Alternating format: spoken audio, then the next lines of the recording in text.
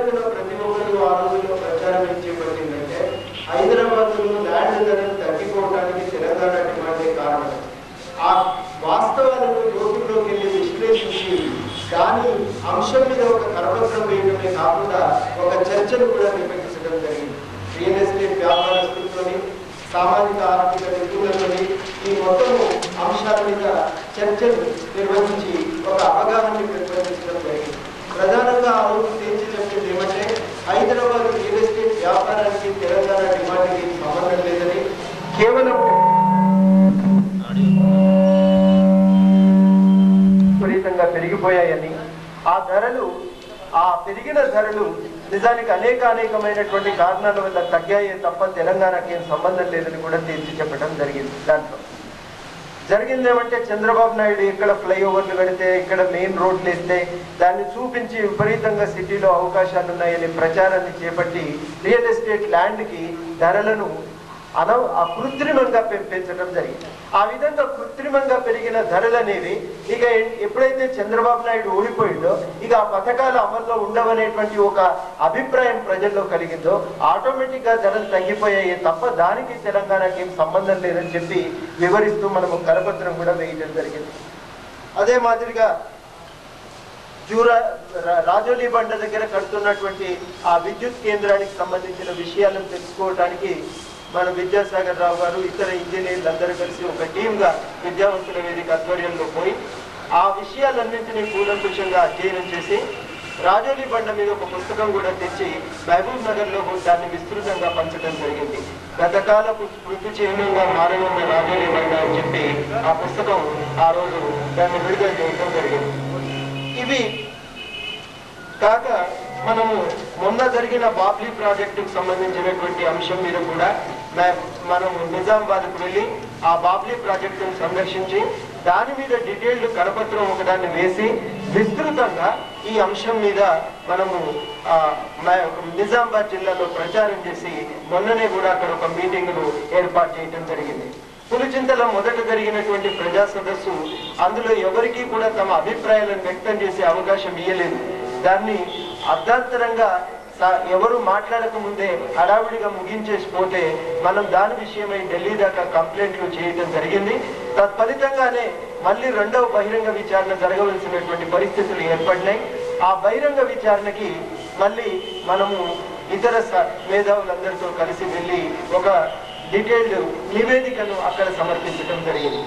ఈ మాదిరిగా అనేక రకాలైనటువంటి కార్యక్రమాలను వివిధ జిల్లా యూనిట్లను కూడా ఏర్పాటు చేసుకోవటం జరిగింది.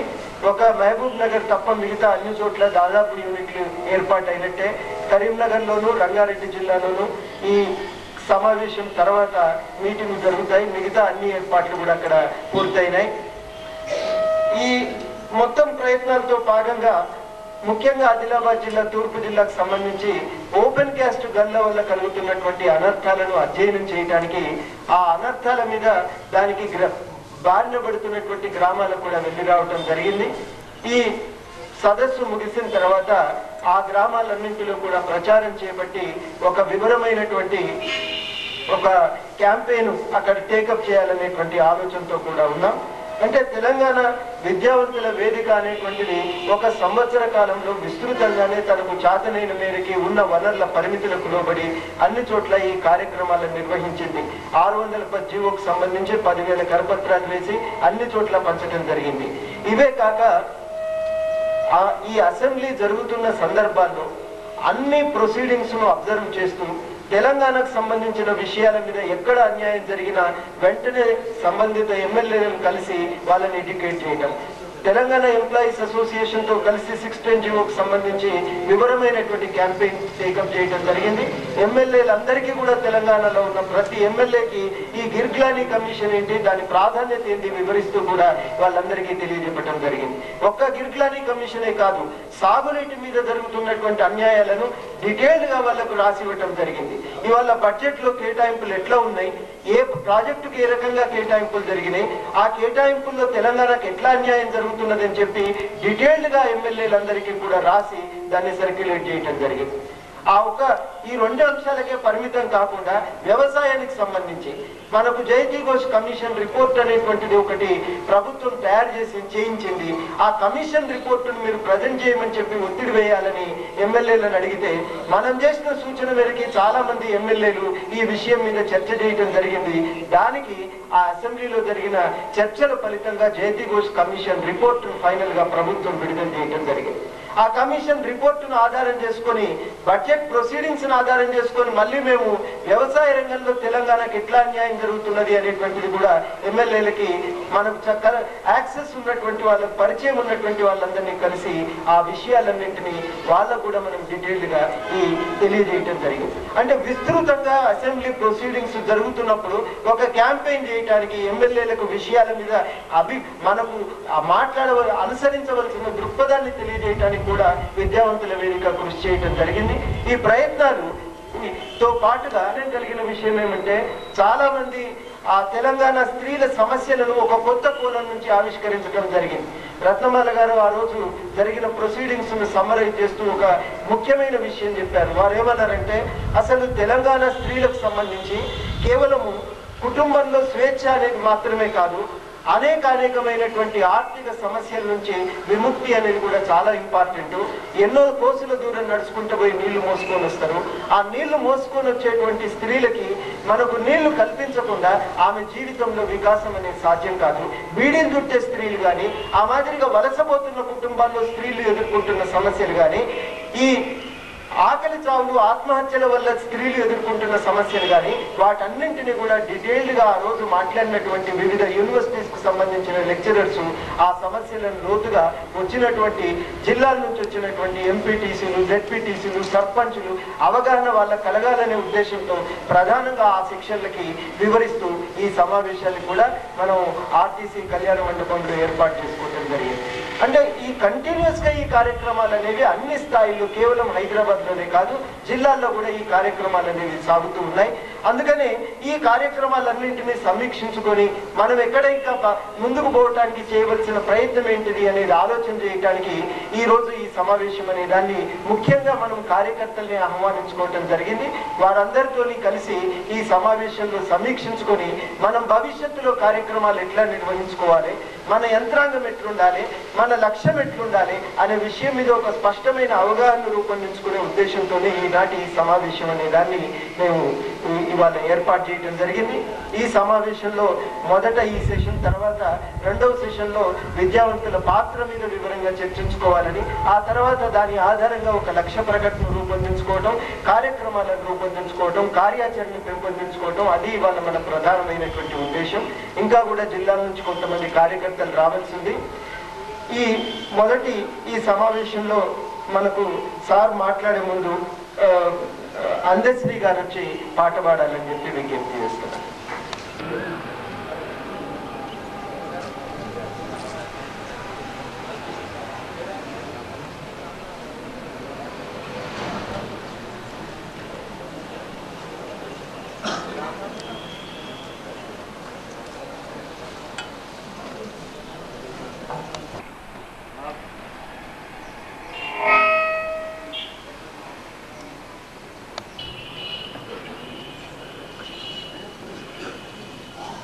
తెలంగాణ.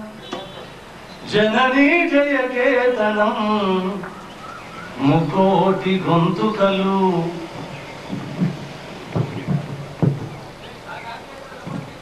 జయ జయ తెలంగాణ జననీ జయకేతనం. ముక్కోటి గొంతుకలు ఒక్కటైన చేతనం. జయ జయ హే తెలంగాణ జననీ జయకేతనం.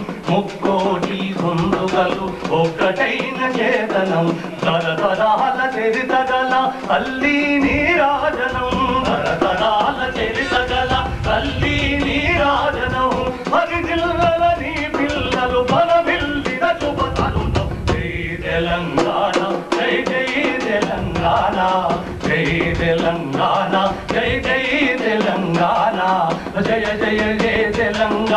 జననీ జయకేతనం ముక్కోటి గొంతుకలు ఒక్కటైన చేతనం. జయ జయ హే తెలంగాణ జననీ జయకేతనం ముక్కోటి గొంతుకలు ఒక్కటైన చేతనం. కవి గాయక వైతాలిక కలలా మందిరాలు కపుటములు కముటకి శారద స్వరనాదాలు కవి గాయక వైతాలిక కలలా మందిరాలు కపుటములు నారద స్వరనాదాలు పల్లవుల తిరుదల్లుల ప్రతిబుల్లములందిల్ల పల్లవుల తిరుదల్లుల ప్రతిబుల్లములందిల్ల అనునిత్యము నీ గాలు అమ్మ నీవు మాతాలు తెలంగాణ జై జై తెలంగాణ జై తెలంగాణ జై జై తెలంగాణ. జయ జయ తెలంగాణ జన గొంతుకలు ఒక్కటైన చేతనం జయ జయ తెలంగాణ జననీ జయ చేతనం ముక్కోటి గొంతుకలు ఒక్కటైన చేతనం. జానపద జన జీవన కవలీలు చాలు వాన జాతిని జాగృత పరిధి. గీతాల జన జాతర జనపద జన జీవన జావలీలు చాలు వాన జాతిని జాగృత పరిధి గీతాల జన జాతర వెలకొలదిగా వీరులు నిలబొడికి పోతనేమి వేల కొలదిగా వీరు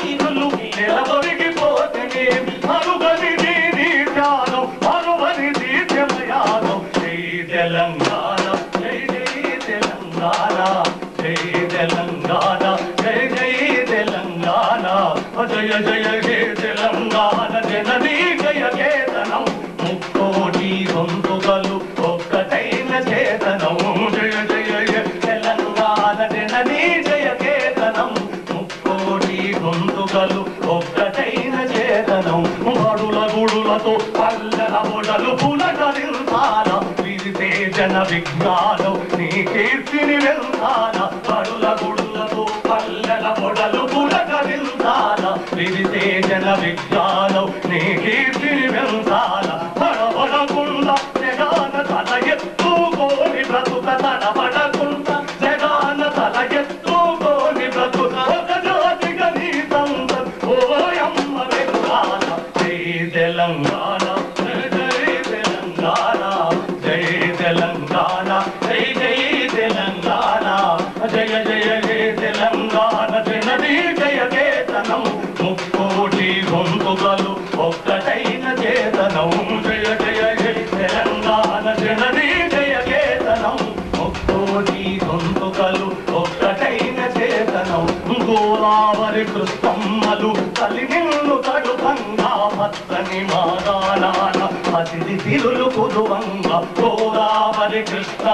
తల్లి నిన్ను తడుపంగా పచ్చని మాగానాన పసిడి తిరులు కుదువంగా సుఖ శాంతుల తెలంగాణ సుభిక్షంగా ఉండాల సుఖ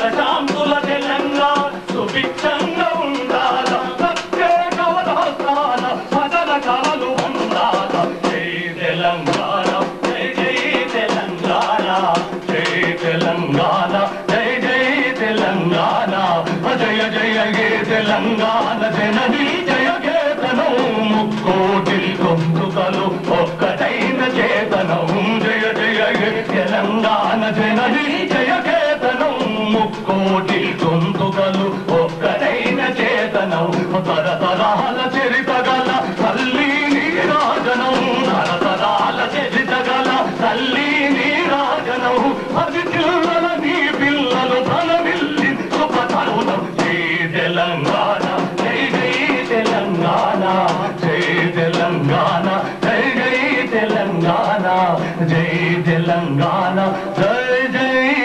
తెలంగాణ.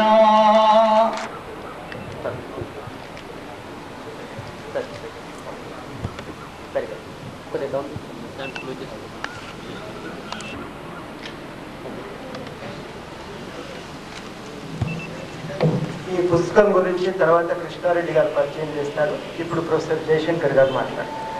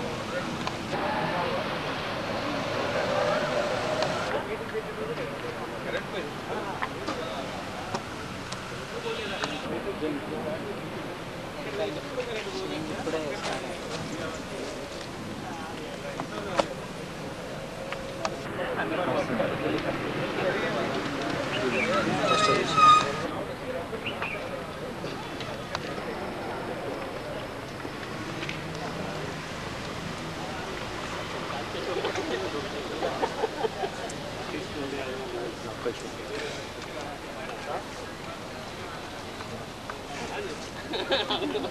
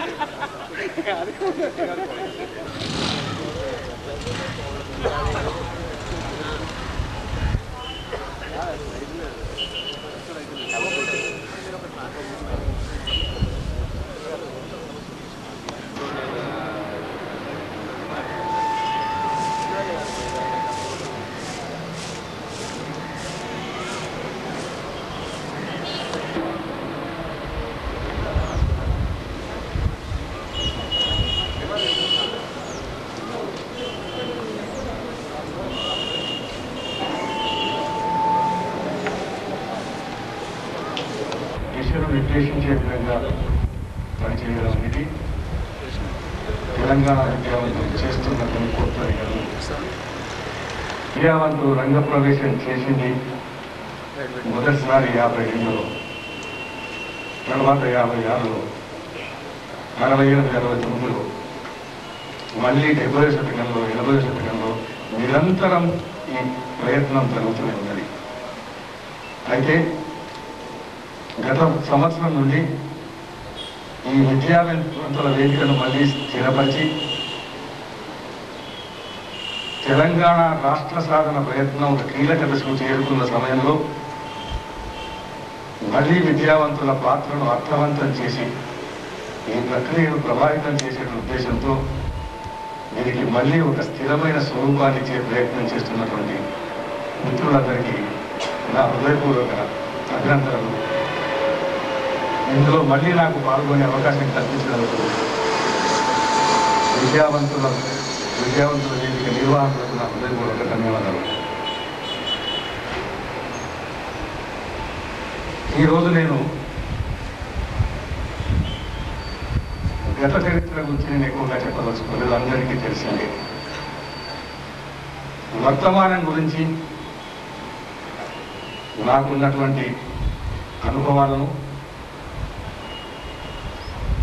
నాకు కలిగినటువంటి అవగాహనను మీతో పాల్పంచుకునే ప్రయత్నం చేస్తాను మనందరికీ తెలుసు గత కొద్ది రోజుల నుండి కొన్ని శక్తులు కొందరు వ్యక్తులు తెలంగాణ రాష్ట్ర సాధన కొరకు జరుగుతున్నటువంటి ప్రయత్నం పట్ల వివాదాలు సృష్టించడం లేనిపోని కథలు అనడం వ్యక్తిగత దూషణలకు పూనుకోవడం జరుగుతుంది. ఇటువంటి తరుణంలో రాజకీయ పార్టీలతో ప్రత్యక్ష సంబంధం లేకపోయినా ఈ రాజకీయ ప్రక్రియలో చాలా నిమగ్నమైనటువంటి మనం ఒక నిష్పక్షపాతమైనటువంటి విశ్లేషణ చేసుకునే సమయం ఆసన్నమైంది కొన్ని చోట్ల కన్ఫ్యూజన్ ఉన్నాయి కొన్ని చోట్ల కాంట్రవర్సీస్ ఉన్నాయి చాలాసార్లు వాస్తవాలను దాచిపెట్టే ప్రయత్నం అవుతున్నది అనేక సార్లు వాస్తవాలను వక్రీకరించే ప్రయత్నం అవుతున్నది ఈ నేపథ్యంలో వాస్తవ పరిస్థితి ఏమిటి అనేటువంటి విషయంలో నాకున్నటువంటి అవగాహన నాకున్నటువంటి ఇన్ఫర్మేషన్ మీతో పాల్పంచుకునే ప్రయత్నం చేస్తాను. నా అభిప్రాయాలను మీపై వద్దాను అభిప్రాయాలు వెలుగుచ్చినా వాటితో మీరు అంగీకరించడం అంగీకరించకపోవడం మీ ఇష్టం.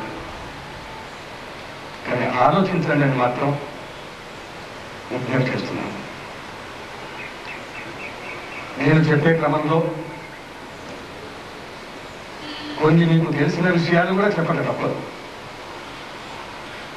వర్తమానంలో జరుగుతున్నటువంటి ప్రక్రియ యొక్క పరిస్థితి చెప్పడానికి దానితో సంబంధం ఉన్నటువంటి కొన్ని పరిణామాలు ఒక్కసారి సంక్షిప్తంగా అయినా చెప్పక తప్పదు కనుక ఒకటి రెండు మూడు నిమిషాల్లో ఆ నేపథ్యాన్ని చెప్పే ప్రయత్నం చేస్తాను.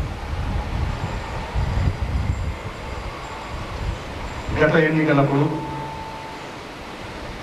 కాంగ్రెస్ పార్టీతో మొత్తం పెట్టుకోవాలా పెట్టుకోవద్దా అనే విషయం పైన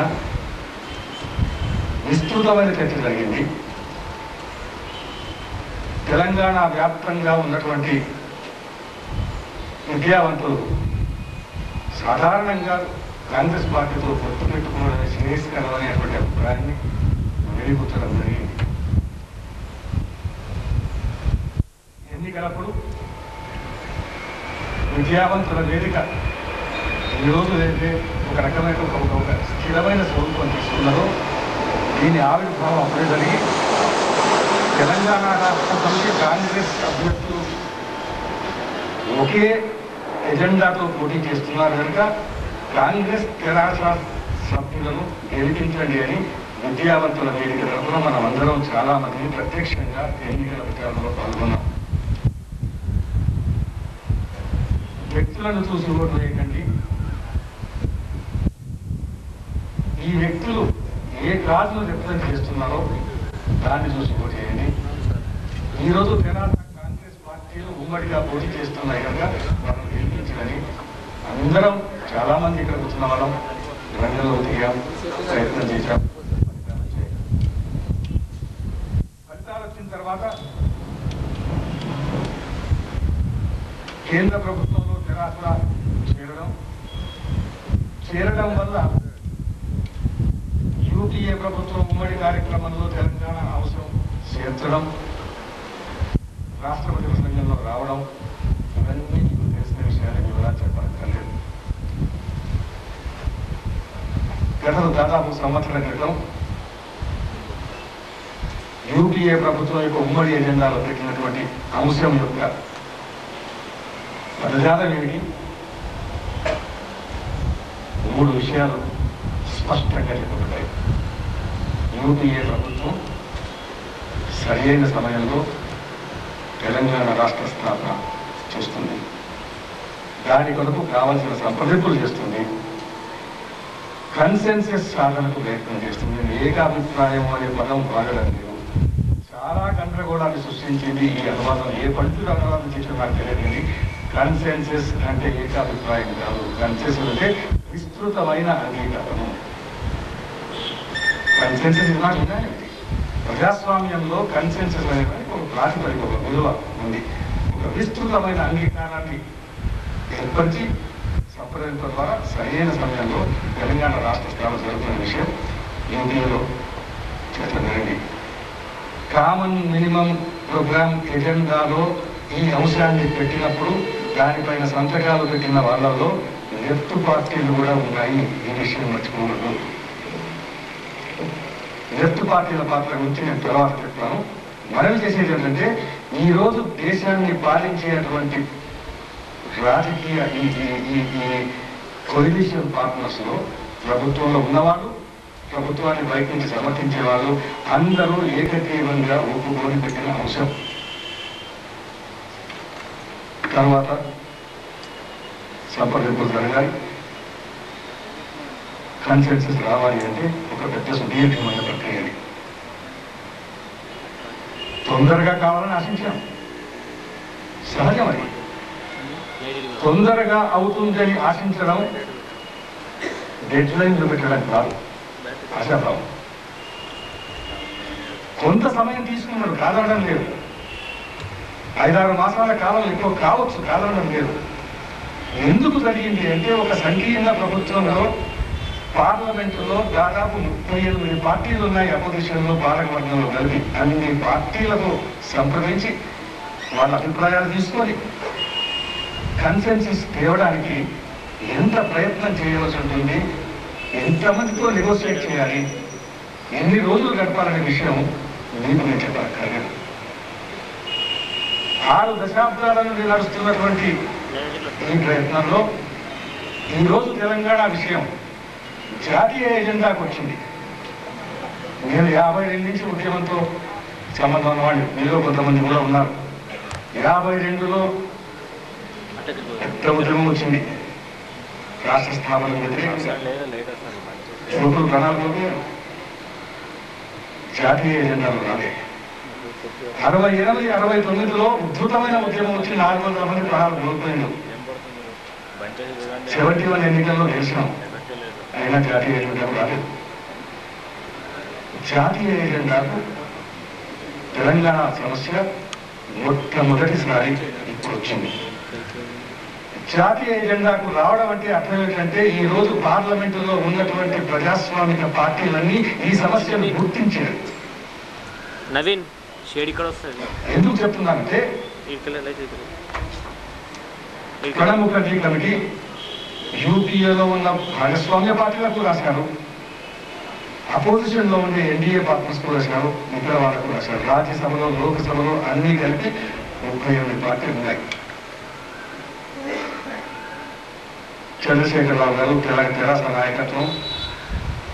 వాళ్ళతో కలిసి పనిచేస్తున్న కొందరు ఈ ముప్పై ఎనిమిది పార్టీల నాయకత్వంతో అనేక సార్లు కూర్చొని చర్చించి సమస్యను విశ్లేషించి సామగ్రించి వీడియోని క్యాసెట్ వాళ్ళు ఎక్స్ప్లెయిన్ చేసిన తర్వాత వాళ్ళకు అంశము తెలుసు కానీ అంశంలో ఉన్న వివరాలను ఎక్స్ప్లెయిన్ చేసేది మన బాధ్యత. వాళ్ళ వాళ్ళ సమర్థన కోరుతున్నాము వాళ్ళ సపోర్ట్ కోరుతున్నాక గుడ్డిగా సపోర్ట్ చేయటువంటి సమస్య ఇది. అని చెప్పడంలో ఎంత సమయం పడుతుందో ఎంత ఎఫర్ట్ చేయాలో ఎంత సంక్లిష్టమైన ప్రక్రియో మీకు నేను ప్రక్రియ. చెప్పలేదు మధ్యలో అవాంతరాలు వచ్చాయి. గత ఎన్నికల తర్వాత మహారాష్ట్ర ఎలక్షన్స్ అడ్డొచ్చింది. సునామీ అడ్డొచ్చింది. జార్ఖండ్ బీహార్ ఎలక్షన్స్ అడ్డొచ్చాయి. ఇవన్నిటిలో ఇవన్నిటినీ అధిగమిస్తూ పార్టీల యొక్క సమర్థతను సమకూర్చడంలో ఢిల్లీలో ఉన్న నాయకత్వం శక్తివంతులు ప్రయత్నం చేసింది. ఈరోజు ఈ రోజు ముఖర్జీ కమిటీ రాసినటువంటి పార్టీలు ముప్పై ఎనిమిది పార్టీల్లో నిన్నటి వరకు నాకు తెలిసినంత నిన్నటి వరకు ఇరవై ఆరు పార్టీలు జవాబిచ్చినాయి ఏ పార్టీ ఏం రాసిన తర్వాత చెప్తాను. ఇవాటి ముప్పై కావచ్చు. నేను కనీసం ముప్పై నాలుగు ముప్పై ఐదు పార్టీల నుంచి సమాధానం వస్తుందని ఎక్స్పెక్ట్ చేస్తున్నాం. ఇంతవరకు వచ్చిన ఇరవై ఆరు ఇరవై ఏడు పార్టీల సమాధానంలో ఒకటి అలా తప్పితే మిగతా అన్ని పార్టీలు కెటగారికల్గా క్లియర్గా అనంబిగ్యస్గా తెలంగాణ రాష్ట్ర స్థాపన వెంటనే జరగాలని సమాధానం ఈ ప్రయత్నం ఇలా జరిగింది. ఎంతమంది దీని వరకు ప్రయత్నం చేయవలసి వచ్చింది? ఢిల్లీలో మనకు వెసులుబాటు లేకపోతే ప్రభుత్వ యంత్రాంగంలో మనకు భాగం లేకపోతే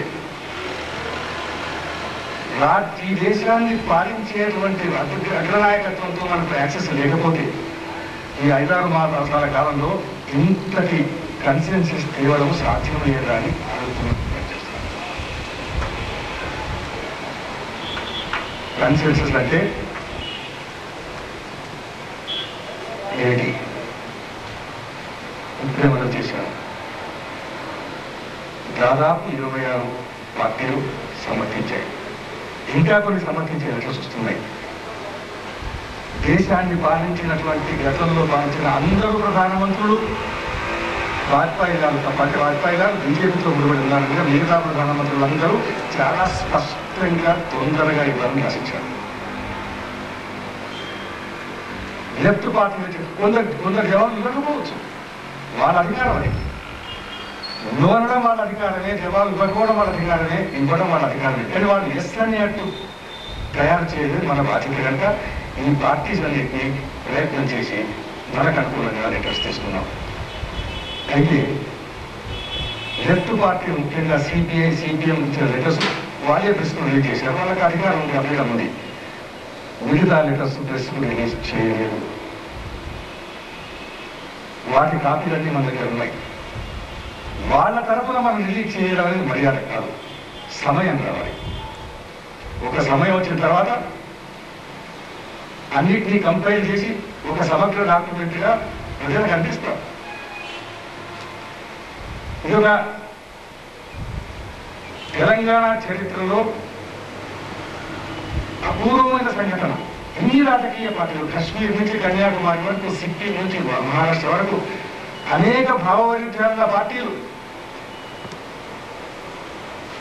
సపోర్ట్ చేస్తున్నాయి దీనిపై కొంతమంది రకరకాల వ్యాఖ్యలు. ఈ లెటర్స్లో ఉండే కంటెంట్స్ చెప్పడం మర్యాద కాదు. కానీ ఒకటి రెండు చోట్ల కొన్ని ఉదాహరణలు చెప్పడం అవసరంగా చెప్తున్నాను. వీటిపైన వక్రీకరణ ఒక్క ఎగ్జాంపుల్ మీకు నేను. దేవగౌడ గారు వారు రాసిన లెటర్లో వాటి రికార్డెడ్ స్టేట్మెంట్ ఉంది మన సీడీలో. రాష్ట్రాల పునర్వ్యవస్థీకరణ సంఘం ఆనాడే తెలంగాణ రాష్ట్రం సృష్టించాలని చెప్పింది దాన్ని గౌరవించడం మన ధర్మం అని అని చెప్పారు. ఉత్తరంలో అదే రాశాడు ఒక సెక్షన్ ఆఫ్ ది ఇక్కడ ఏమవుతుందంటే రెండవ ఎస్ఆర్సి అభిప్రాయాన్ని గౌరవించాలని దేవగౌడ గారు చెప్పారో ఒక ప్రశ్నిష్టంగా రాశారు. చూసే ఉంటారు. దీని ఎవరు క్లారిఫై చేయాలి? దేవగౌడ క్లారిఫై చేయడం ఏం చేయాలి? సమయం వచ్చినప్పుడు అదే క్లారిఫై అవుతుందని క్లారిఫికేషన్ కూడా లేదు నాయకులు సమర్థించిన తర్వాత విడ్రా చేశారు అని అకాలీదళ నాయకులు ఇచ్చినటువంటి సమర్థన లేఖ మన చేతిలో ఉంది. ఎప్పుడు రిజెక్ట్ చేశారో చేసిన వాళ్ళు ఆ చెప్పారు. శరద్ పవార్ గారికి రిజర్వేషన్స్ ఉన్నాయి విదర్భంలో అన్నారు. అసలు ఈ ఉత్తరాల ప్రక్రియ లోపల మొట్టమొదటి ఉత్తరం నిర్బంధంగా సపోర్ట్ చేస్తూ వచ్చింది శరద్ పవార్ ఇంకా వివరాలు చెప్పడం మర్యాద కాదు చెప్పడం లేదు నేను సంక్షిప్తంగా మనం చేసేది అంటే overwhelming majority of political parties in the country both in the ruling section and యూపీఏలో ప్రభుత్వంలో భాగస్వాములైన పార్టీలు ఇచ్చాయి. యూపీఏలో భాగస్వాములు కాక బయట ఉన్న పార్టీలు ఉన్నాయి. మాయావతి పార్టీ అని అజిత్ సింగ్ పార్టీ అని వాళ్ళు సపోర్ట్ చేశారు. ఎన్డీఏలో ఉన్నటువంటి పార్ట్నర్స్ ఇదివరకే లెటర్స్ ఇచ్చారు శివసేన ఇచ్చింది. అకాలీదళ్ ఇచ్చింది రాజమన్నాథ్ ఇస్తానని నమ్మకం ఉంది. ఇంతకంటే విస్తృతమైనటువంటి కన్సెన్సెస్ ఎక్కడ ఉంటుంది? దేశ చరిత్రలో ఇంతటి అపూర్వమైన కన్సెన్సెస్ ఏ రాష్ట్ర స్థాపన వరకు సేకరించబడింది? మద్రాసు రాష్ట్రం నుంచి ఆంధ్ర విడిపోయినప్పుడు ఈ కన్సెన్స్ ఉందా? తెలంగాణ ప్రాంతాన్ని బలవంతంగా ఏపీలో కలిపినప్పుడు ఈ కన్సెన్సెస్ ఉందా? ఈ కన్సెన్సెస్ అర్థం ఏంటి? రెండవది లెఫ్ట్ పార్టీల గురించి ఒక చర్చ జరుగుతుంది. అది కూడా నేను మీతో నా అభిప్రాయాలు పాల్గొంచుకోవచ్చుకున్నాను లెఫ్ట్ పార్టీలు లెఫ్ట్ కూటమిలో ఉన్న నాలుగు పార్టీలు నాలుగు రకాలుగా స్పందించాయి. వాళ్ళకి అర్హత ఉంది. సిపిఎం ఏమన్నది? భాషా ప్రయుక్త రాష్ట్రాల విభజన సిద్ధాంత రీత్యా మాకు అంగీకారం అంగీకారం. కరెక్ట్.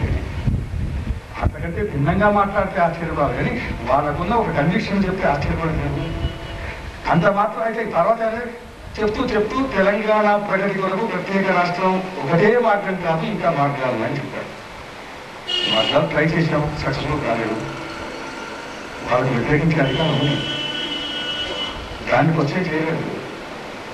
కానీ దేశంలో విస్తృతమైనటువంటి ఒక కన్సెన్సస్ ఏర్పడిన తర్వాత దాన్ని వీటో చేసే అధికారం వాళ్ళకు ఉందని అడుగుతున్నాం అంతే.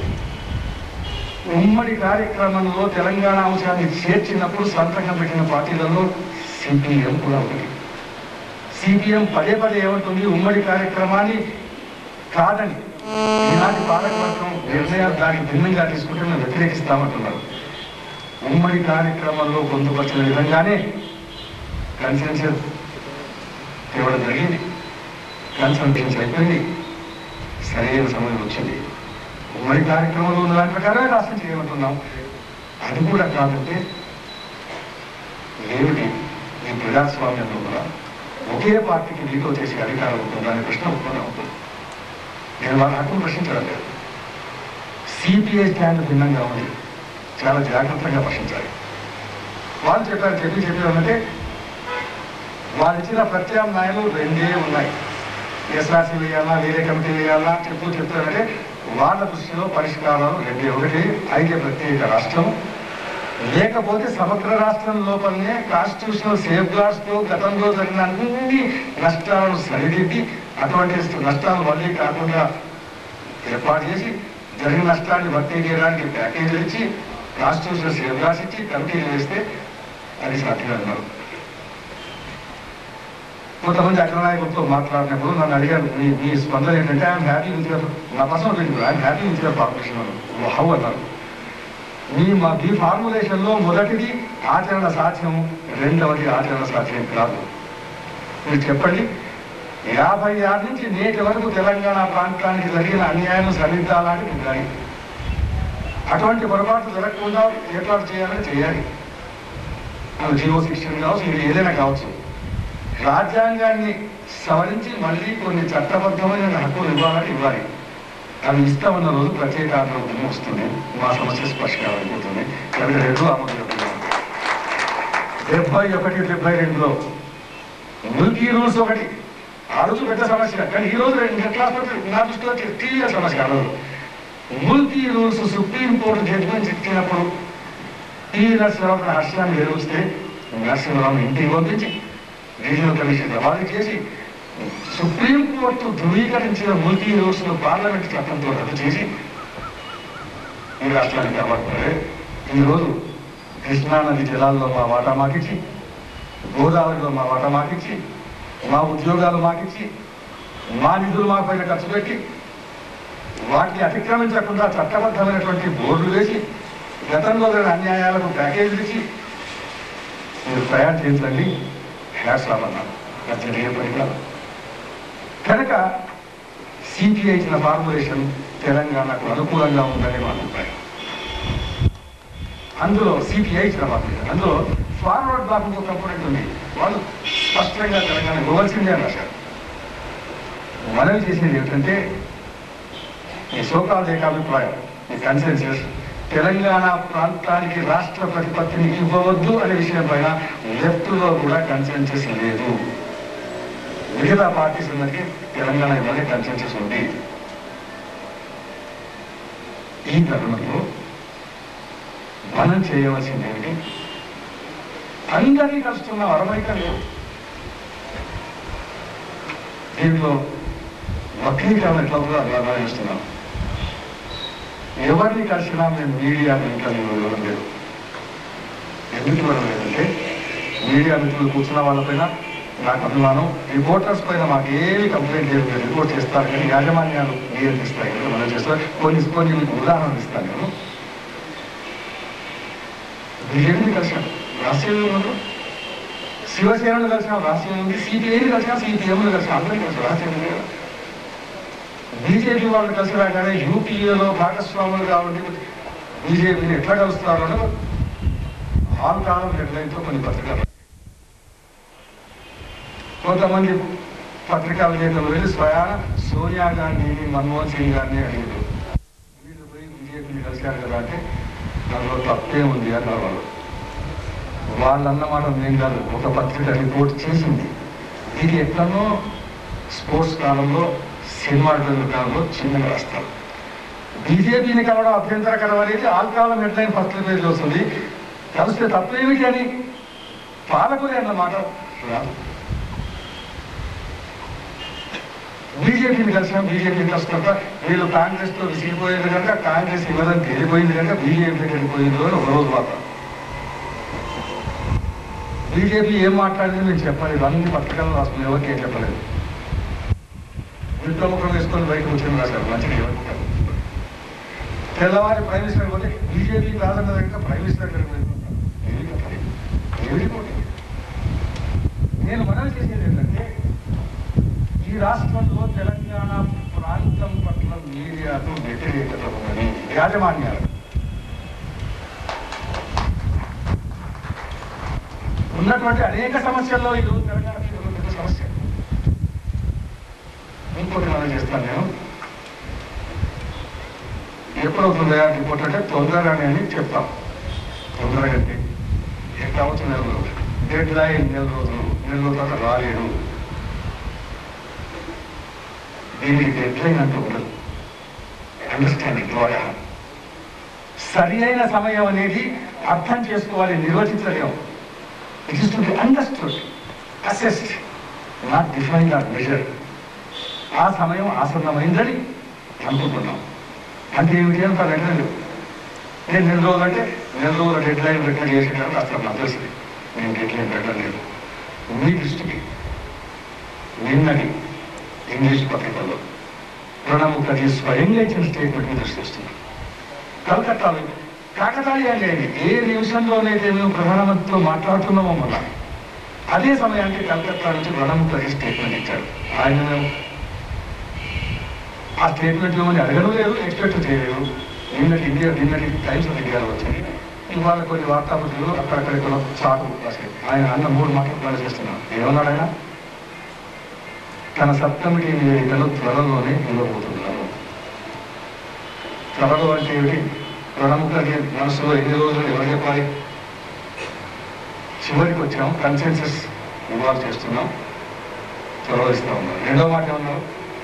చాలా సిగ్నిఫికెంట్ తెలంగాణ రాష్ట్ర స్థాపనకు దేశంలో ఉండేటువంటి ఇతర రాష్ట్రాల డిమాండ్లకు సంబంధం లేదు. ఈ నిర్ణయాన్ని ఆ డిమాండ్లు ప్రభావితం చేయవు అని గురుకాలను లెక్కలపడించారు ఆ- ఆ సమస్యలు చాలా కంటున్నాయి కానీ ఆ సమస్యల వల్ల తెలంగాణ తీసుకున్న నిర్ణయం ప్రభావితం కాదు అని చెప్పారు. మూడో మాట ఏంటంటే మా ఎజెండాలో సెకండ్ ఎస్ఆర్సీ లేదు అన్నారు.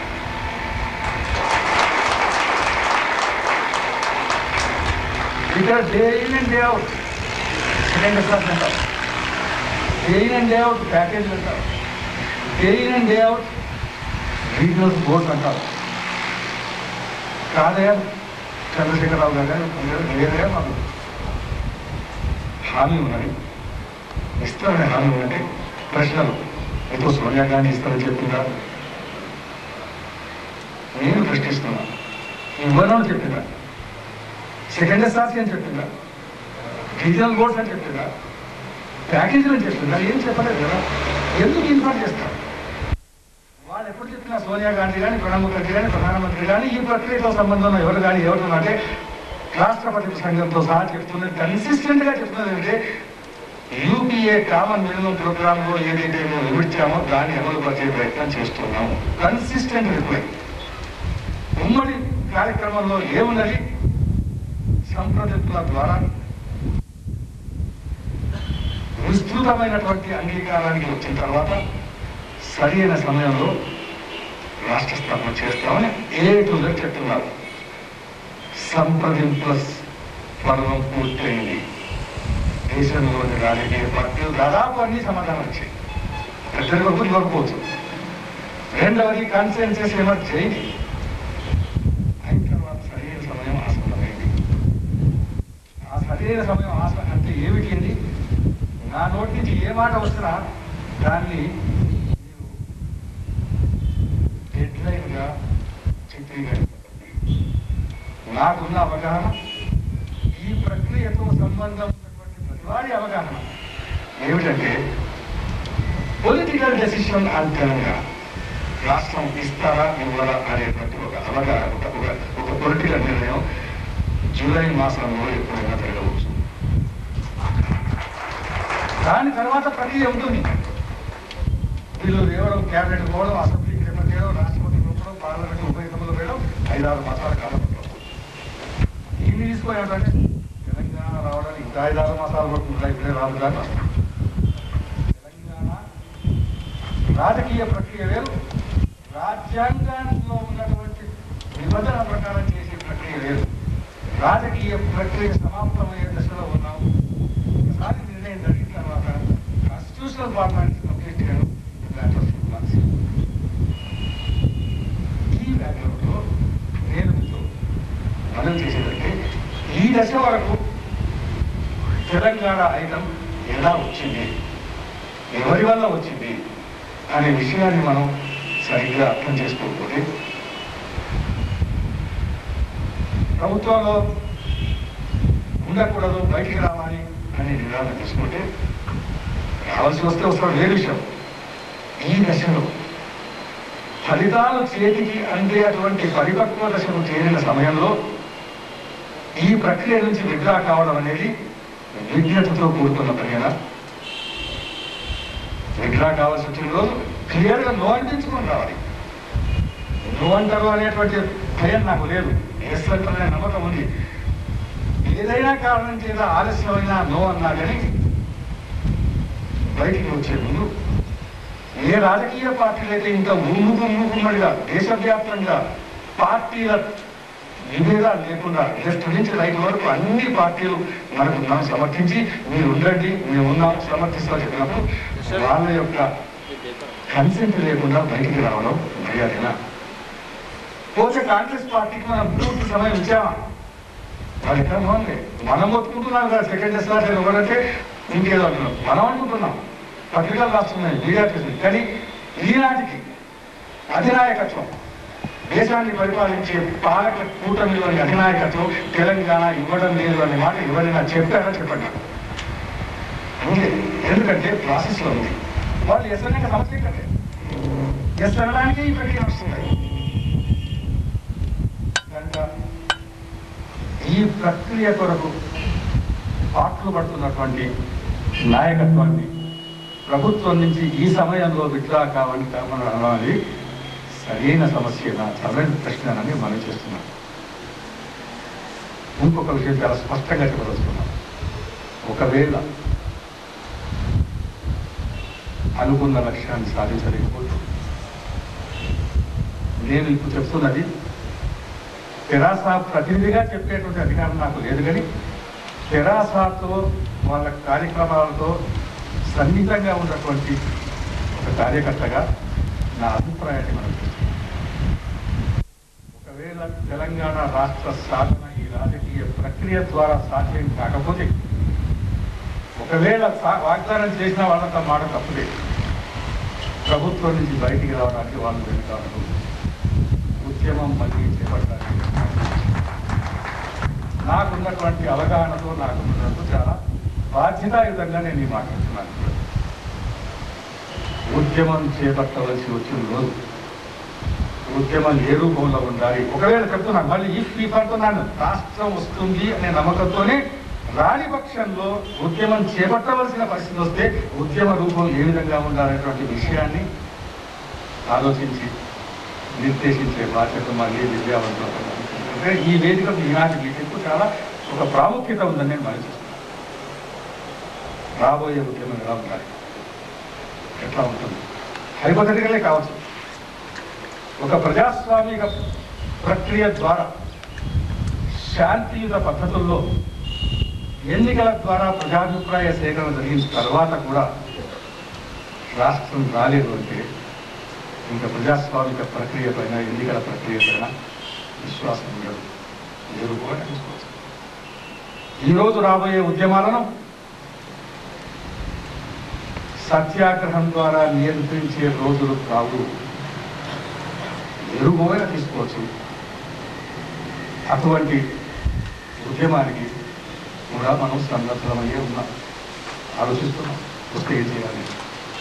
ఆ ఉద్యమ నిర్వహణ ఇది సీరియస్ అఫేర్ అది బొమ్మలా కాదు చాలా సీరియస్ అందరం కూర్చొని నిర్ణయించి నిర్దేశించాలి. కనుక నేను మళ్ళీ ఈ విషయంలో పునరుక్తి దోషం ఉన్నప్పటికీ మనవి చేసేది ఏంటంటే గత సంవత్సరం నుండి ముఖ్యంగా గత ఐదారు మాసాల నుండి దేశంలో ఉన్నటువంటి పార్లమెంటులో ప్రాతినిధ్యం ఉన్నటువంటి రాజకీయ పార్టీల సమర్థనంతా సమకూర్చి కన్సెన్సెస్ వచ్చే విధంగా ప్రయత్నం చేసి అధినాయకత్వాన్ని ఒప్పించి ఫలితం చేతికి వచ్చే దశలో ప్రభుత్వంలో భాగస్వాములుగా ఉండకండి బయటికి రమ్మని అనడం అనేది సరైన నిర్ణయం కాదు. బయటికి వచ్చిన తర్వాత రావాల్సి వస్తే ఉద్యమం ఎలా రావాలో అయితే ఇందులో కన్ఫ్యూజన్స్ ఎందుకు వస్తున్నాయంటే ఉద్దేశపూర్వకంగా అధినాయకత్వం ప్రతిరోజు ఉన్నటువంటి డెవలప్మెంట్స్ మీడియాతో పాలు పంచుకోవాలి కారణం ఏంటంటే చెప్పుతే ఒక మాట. చెప్పకపోతే మరొక మాట.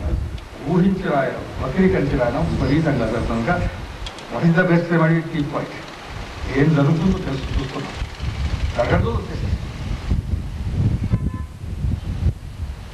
శత్రువు ఎట్లాగూ వ్యతిరేకిస్తాడు కానీ తెలంగాణలో ఉండే తెలంగాణ వాదులు తెలంగాణ రాష్ట్రం కావాలని కోరుకునే వాళ్ళు కూడా ఈ విషయాన్ని చాలా డిస్పాషనేట్గా ఆలోచించవలసిన అవసరం ఉంది. సమస్యలు చాలా ఉన్నాయి.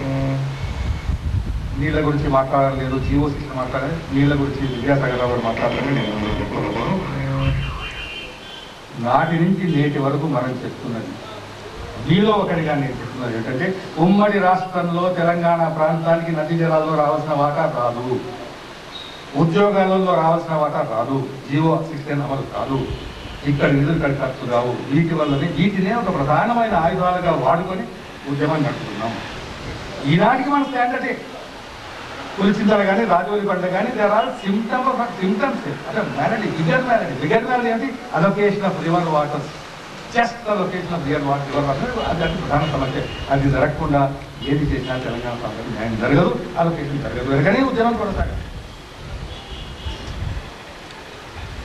ప్రభుత్వం చేసే ప్రచారం చేస్తుంటాయి ఇప్పుడు ఇంకొక విషయం మనం చేసి నేను ముగిస్తాను. మళ్ళీ ఉద్యమం చేపట్టవలసి వస్తుంది తెలంగాణ రాష్ట్ర సమితిని బయటికి రమ్మని అడిగే హక్కు మనకు ఉంటుంది వచ్చే బాధ్యత మనకు దాంతో నాకు సందేహం లేదు. తెలంగాణ ప్రాంతపు కాంగ్రెస్ నాయకుల పాత్ర మనం తెలంగాణ రాష్ట్ర సమితి తెలంగాణ కాంగ్రెస్ వాళ్ళు మొత్తం రాష్ట్ర రాష్ట్రంలో కాంగ్రెస్ వాళ్ళు కలిసి సాధించు ఆ ఎన్నికల్లో గెలిపించాలని మనం అందరం ప్రయత్నం చేశాం గెలిపించాం. కాంగ్రెస్లో మాలాంటి వాళ్ళం ఈ విషయాలు మాట్లాడడం కొత్త కాదు. టూ థౌజండ్లో తెలంగాణ ప్రాంతం నలభై ఒక్క మంది కాంగ్రెస్ ఎమ్మెల్యేలు అధిష్టాన వర్గానికి ప్రత్యేక రాష్ట్రమే కావాలని ఒక రిప్రజెంటేషన్ ఇచ్చిన రోజు. అప్పుడు ప్రణబ్ ముఖర్జీ కమిటీ చిన్న రాష్ట్రాల కొరకని ఒక కమిటీ ఉండేది అదే కమిటీ ఇప్పటికి ఉందనుకోండి ప్రణబ్ ముఖర్జీ కమిటీ ముందు తెలంగాణ కాంగ్రెస్ వాదుల వాదనను వినిపించడానికి వాళ్ళు నన్ను కీర్తి చేసిన జనార్దన్ రావు గారిని వారి ప్రతినిధులుగా తీసుకొచ్చారు ఎందుకు మనం చేస్తామంటే నేను టీఆర్ఎస్ ఎంత సపోర్ట్ చేస్తున్నామో కాంగ్రెస్ ఈ విషయంలో అంతే సపోర్ట్ చేశాం అక్టోబర్ పద్దెనిమిది టూ థౌజండ్ రోజు ఢిల్లీలో నేను జనార్దన్ రావు గారు ప్రణబ్ ముఖర్జీ కమిటీ ముందు తెలంగాణ వాదాన్ని రెండున్నర గంటల సేపు వినిపించాం. ఎందువరకు కాంగ్రెస్ వాళ్ళు తెలంగాణ దాని తర్వాత ఎన్నికల కాలంలో పొత్తు కుదిర్చడానికి ఎన్నికల మేనిఫెస్టోలో తెలంగాణ విషయాన్ని పెట్టడానికి మాకు చేతనైనటువంటి చేయుతనిచ్చాం మేనిఫెస్టోలో ఏముంది? ఈ సెకండ్ ఎస్ఆర్టీకి కట్టుబడి ఉంది టీఆర్ఎస్ అనేది అది ఒక డిస్ట్రాక్షన్ అంటే. అదొకటి మనం చేయదలుచుకున్నాం సెకండ్ ఎస్ఆర్టీ కొరకు తెరాస ఎదుర్కోలేదు టూ థౌజండ్ లాస్ట్ గత ఎన్నికల ముందు తెలంగాణ రాష్ట్ర సమితికి కాంగ్రెస్కు కుదిరిన ఒప్పందంలో నాలుగు మాటలు ఉన్నాయి వాళ్ళ మేనిఫెస్టోలో ప్రింట్ చేయబడి ఉన్నాయి. దానికి కాంగ్రెస్ వర్కింగ్ కమిటీ ఆమోదం ఉంది. ఏమున్నాయి అందులో? Number one the All India Congress committee. Respect the recommendations of the first PSRC. భద్రలీ కమిషన్ ప్రత్యేక రాష్ట్రం తెలంగాణ ఉండాలనేటువంటి విభాగం నేను గౌరవిస్తాము అని. తెలంగాణ ప్రజల యొక్క ఆశలను ఆకాంక్షలను మేము అర్థం చేసుకుంటున్నాము గౌరవిస్తాము. ప్రత్యేక తెలంగాణ రాష్ట్రం నినాదం వెనుక ఉన్నటువంటి సహేతుకమైనటువంటి కారణాలు సహేతుకమైన కారణాలను మాకు తెలుసు అన్నారు. ఇటువంటి సమస్యలు వేరే చోట ఉన్నాయి కనుక అటువంటి సమస్యలను పరిష్కారం చేయవలసి వస్తే సెకండ్ ఎస్ఆర్సీ వేయవలసిన అవసరం ఉంటుంది కావచ్చు.